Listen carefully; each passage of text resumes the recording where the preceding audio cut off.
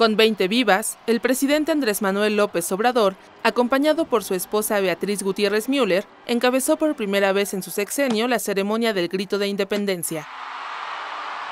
¡Mexicanos! ¡Viva la independencia!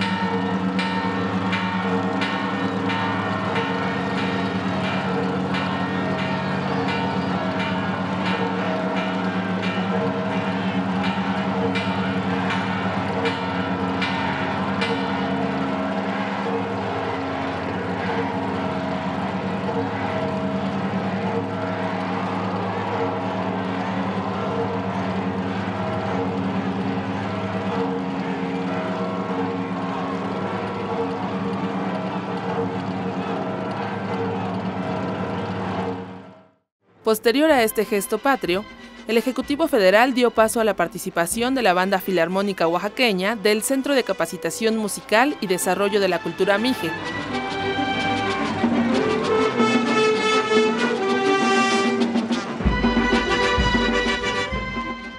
y al espectáculo de juegos pirotécnicos para celebrar el aniversario 209 del inicio de la independencia.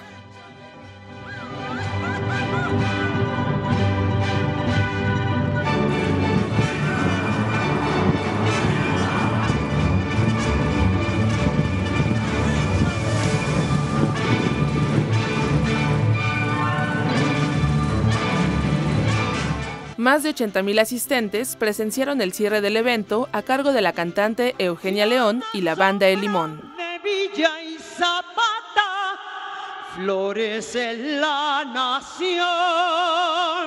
Paloma vuelve contenta al nido, nunca debiste de haberte ido. Paloma canta junto a la orquesta que todo México está de fiesta cantando ahuyenta.